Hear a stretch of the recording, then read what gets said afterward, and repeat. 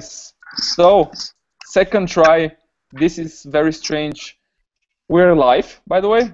26, number 26. The Christmas Hangout tr second try. Uh, let's wait for everyone to be okay. Okay, so uh, second try for this Hangout after a really strange problem, which uh, we'll not share with the community for now. And who is with me today? I have four guests. Katrin, can you just say a few words for you because you already said, but of that, can, can you say a few words for you? Sure. Or you lost, or you are lost now. uh, I'm Cathrine from Norway. Um, BIML fan wearing my BIML Break t-shirt today and my Christmas hat in honor of the Christmas edition of uh, SQL Hangout. Perfect. Um, so yeah, I've uh, I've done this with you once before, uh, also on BIML. So it's fun to be back now with all the other guys. Yes, and we will point to the previous hangout, of course. So, Mr. Lopez, welcome back. Now with your phone, just tell us a few words for you, please. okay, um, I'm from Portugal, in the far away in Europe. Um, starting playing with BIML a couple of years ago. Indeed. We see a lot potential in this and just glad to be here and talk about it. Perfect. So we have Oslo, we have uh, we have Norway, we have Portugal. Rasmus, your turn. Shoot. Yeah, well, I'm Rasmus from uh, I'm from Denmark, in Copenhagen. Um, yeah. Denmark, Copenhagen. You were also here back in two or three months. So yeah, I was yeah, half ago, half years ago, I was uh, uh, joining you for in, in memory. Yep, I uh, believe so. Yep. But want to try one on on, on as well, my uh, newest passion, so to say.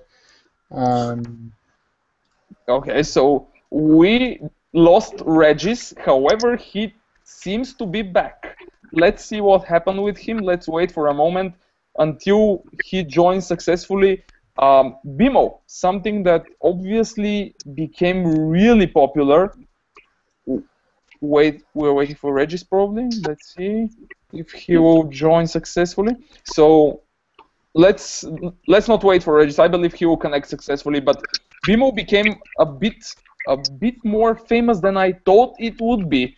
Uh, I continue to hear a lot of stuff about BIML, and I'm not a business intelligence guy. Uh, guys, please give me just a quick uh, a quick opinion why this technology is becoming so popular. Katrin, your opinion. My opinion. Uh, well, it saves a lot of time for everyone who works with ETL and SSIS, especially. Um, it's easy to learn. Uh, it's easy to use, and you can start yep. using it right away and save a lot of time from day one. Okay, Mr. Lopez, your opinion, why BIML is getting so famous, so popular? Uh, beside what Katrina already explained, it's also it's a way that the BI persons start, will start to develop more like the normal dev people that develop websites or applications. Um, gives you more structure and force you to develop user patterns. Okay, that's interesting. That's interesting. Rasmus, your opinion, because Regis is still not here? Yeah, well, main thing has already been said. It's the speed of development.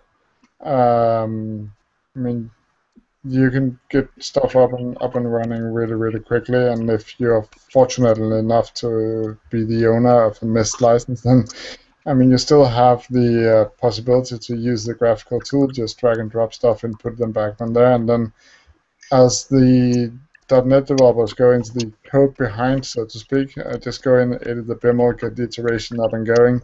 Yeah. you have a staging database. I mean, I did that live on SQL Saturday, Ljubljana or Slovenia. Uh, this uh, Saturday, and I had a staging area up and running in 10 minutes for of AdventureWorks from scratch. That's that's really really. I think that can that be called a game changer? In the ETL world? Cathrine says yes. Yeah. Yeah. O obviously. Okay, so uh, because let's go it this way because um, because many people speak about BIML and there are a lot of presentations all around. Uh, many times when I see a presentation, I'm like, okay, that that works for your demo. I mean, that works. However, I want to hear from you. What are your experiences with this technology with BIML from the field? Have you already applied it in production in a real project? Because that's where it really should stand up, right? So, anyone apply this? Yes, well, I, I have. I'm, I'm developing our entire data warehouse uh, using uh, BIML. Uh, I have, I mean, when you put that in production, it doesn't really matter if it's hand built it's Built. The integration service packages are the same, and built packages are just nicer and more straightforward to, to look at.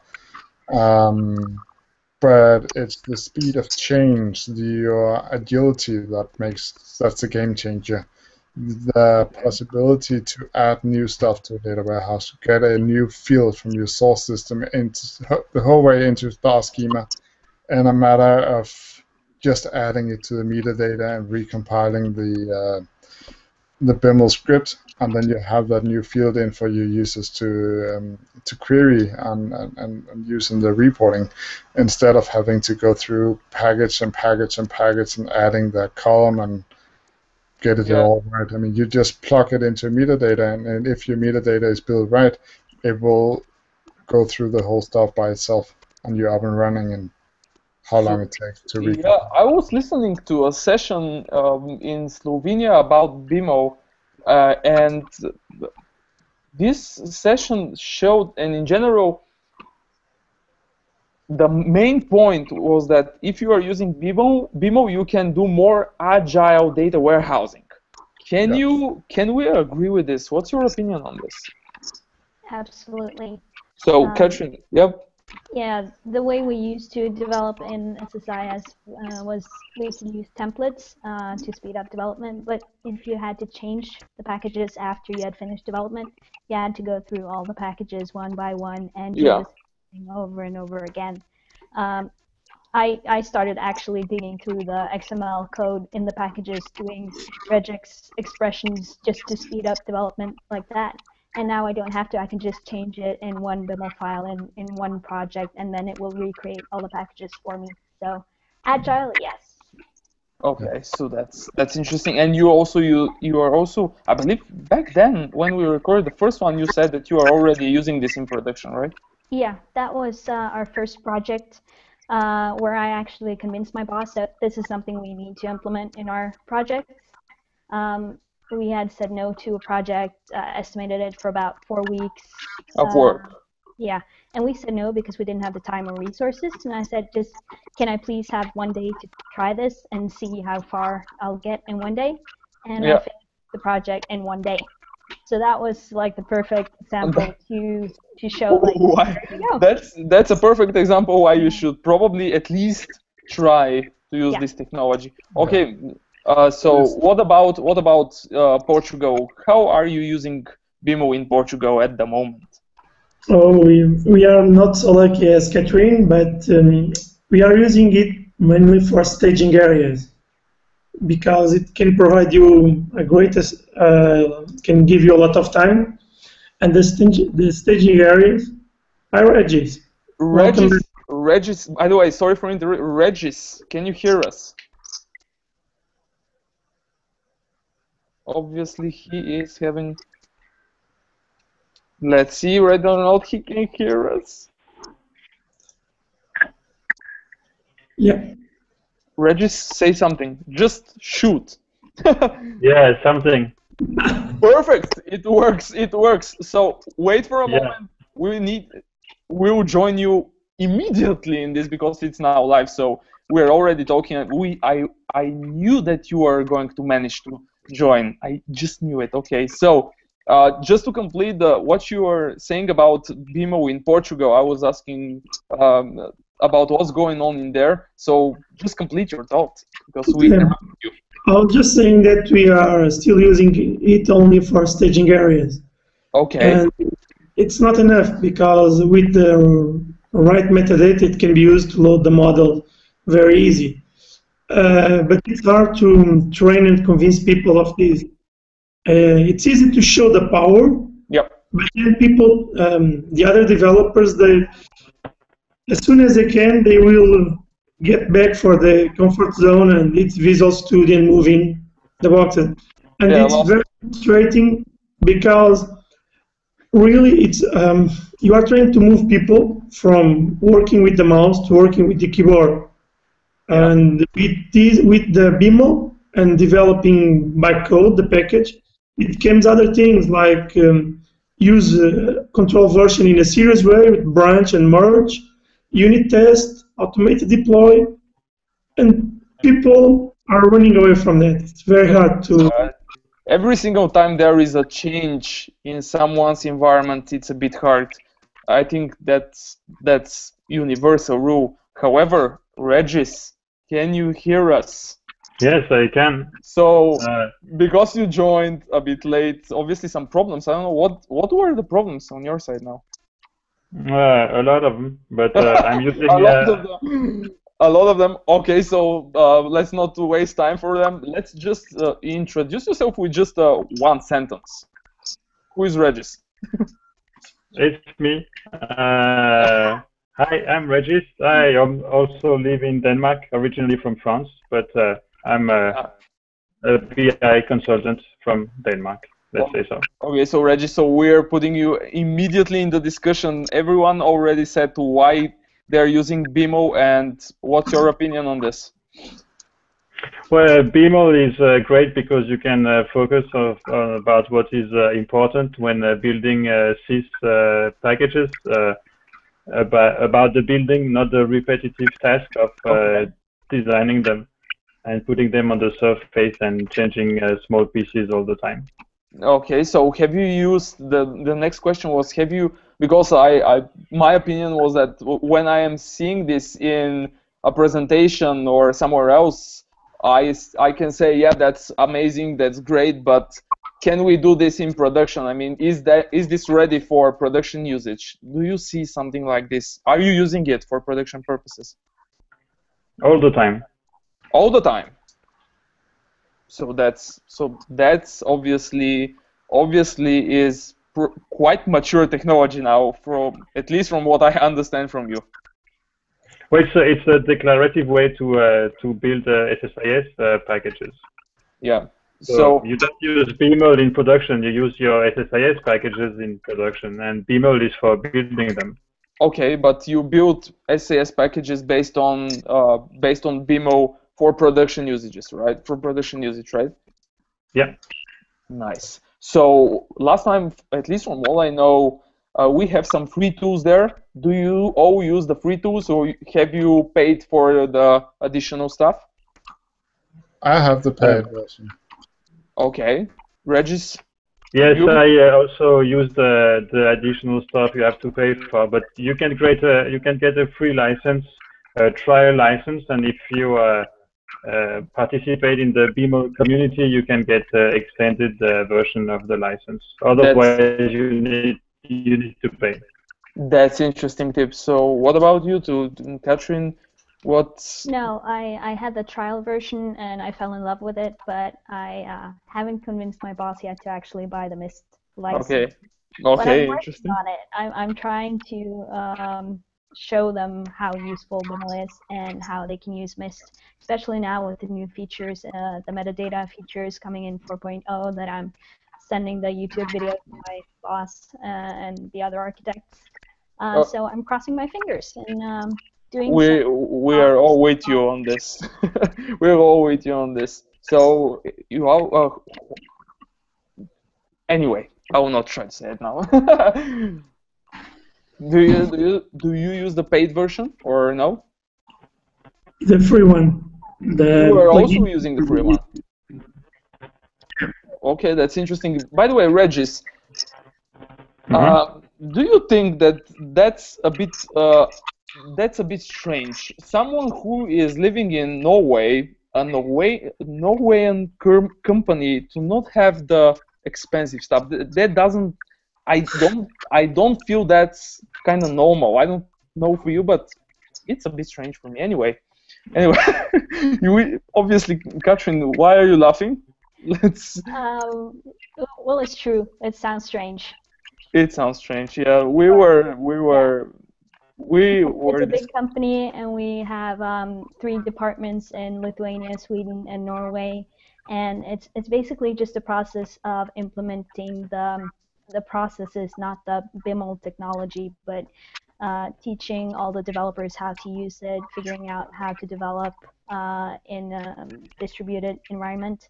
That's that's the main part uh, Okay, that's so- difficult for us. So obviously it's not. A, have you seen resistance from people who are BI developers at least up until now, or people are more like because they see the positives, they're like, oh yes, we are going to use this.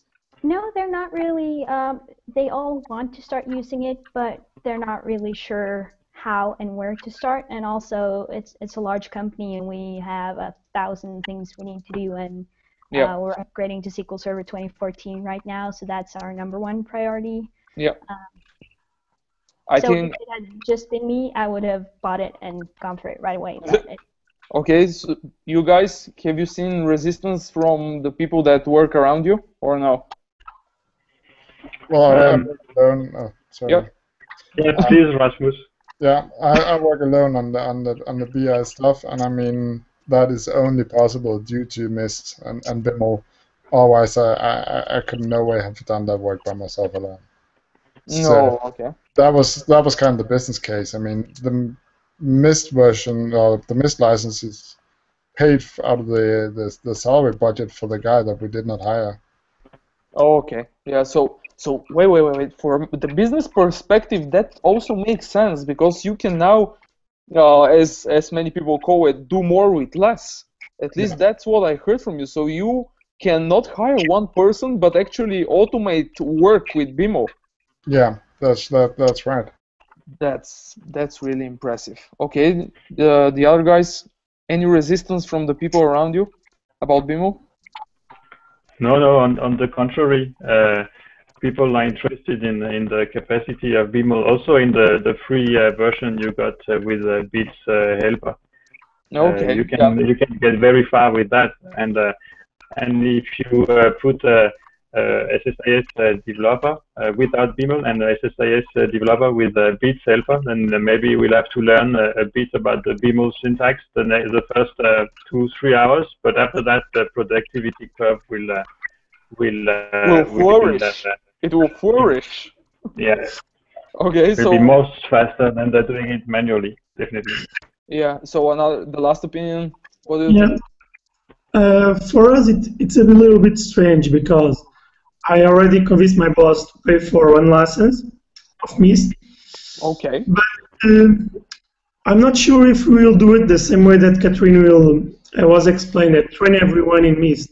Okay. One of the approach we are looking, it's just to have um, architectural team that will build the patterns, design the patterns in Mist or, or using Visual Studio, and then the, the generation process will be provided as a service.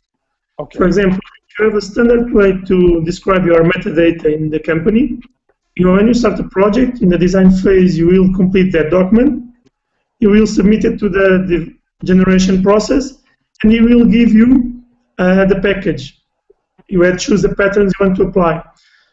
It Okay. looks smart, but it was it has been incredibly hard to design the patterns. Everyone, we, we just cannot agree, and that it has been mining the BIML effort. So I don't know. Maybe we should go the Cathrine way and just train everyone in Mist. Probably you should try. At least try. So one last question for you, and I want you to at least try to dream for a moment. So I'm not using BIML. I haven't used it because I'm not I'm not like you guys. I do not I'm not involved in BI all the time. I just recently ended my first business intelligence POC, not a huge project. So my question for you is what is missing in this technology at the moment and what do you think is coming up next? What do you want to see next for this technology? Katrin is already thinking hard. What do you want to see and what's missing? What what do you need? Um, I think it's it's more a community effort, but having some place to start for new projects because right now it's a it's a framework um, to build your own framework. It's not a complete solution that you can just deploy and implement. And I know uh, people are writing books uh, about BIML Yeah. right now. Uh, MIST is being developed with the new metadata features, and they're doing a great effort on the webinars, things like that. Yep. Uh, so I just think maybe in a year you have more uh, best practices, um, like you have for SSIS now. Everyone knows about the naming standards and best practices, how to do things, and to get to that point with BIML as well. Okay, so obvi- by the way, that being said, is BIML an open source project, or is it something No, it's that's not. It's owned by Varigence. is it? Yeah. That's interesting. So everyone in the community can build more and more there, right? Uh, no, you can you Yeah. can use BIML to create your own frameworks, but the actual BIML language itself is is Varigence. Oh, okay. Okay. So next, who is next? What is missing in your opinion, and what should be added in this technology? What do you think should come next? Yeah, well, if I can join. Uh, Yeah. We can hear you very well. Good. Uh, most in the same line as, as Cathrine, actually. Training. Uh, I recently just saw the guys asking for pre-concepts, SQL bits and stuff like that. Are there anything in BIML out there? And they are really not. I mean, Varigence and the community is trying to catch up with the with the webinars, but it's just not the same thing. So uh, the community has to to get a bit more mature, I think, and start doing more, More training sessions, more pre-cons and, and, and stuff like that.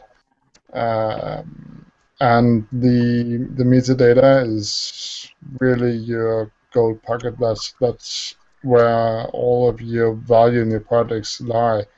So the the new features of, of Mist is, is, is great with the metadata built-in, but that's Mist only. You Okay. can't use that in the free version. Yeah. Uh, Unfortunate. So probably around something around training and metadata should be the next logical step.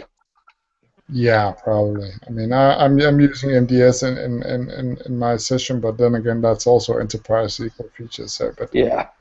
Yeah, yeah, that hurts. Regis, what do you think should what do you, what are you missing from from this? Um, I think there have been a lot of uh, of uh, additions of feature between the the last version and and the version that uh, is uh, out now, uh, the 4.1, and um, uh, probably some more um, how to say that some red thread in the way to to use it and and build projects because now you can do pretty much whatever whatever you want, and uh, maybe not always in, in the right way. Oh, okay. That's interesting. And one last opinion. What's missing and what's next? What should be next? It's, it's like a very saying the training.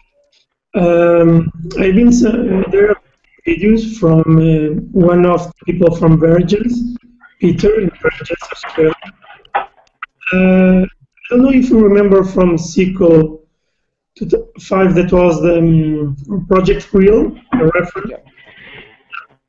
I think we need something like that, not only a database and some scripts, an example, uh, as reference of best practices, etc., like that, but also a document, uh, things to do, not to do.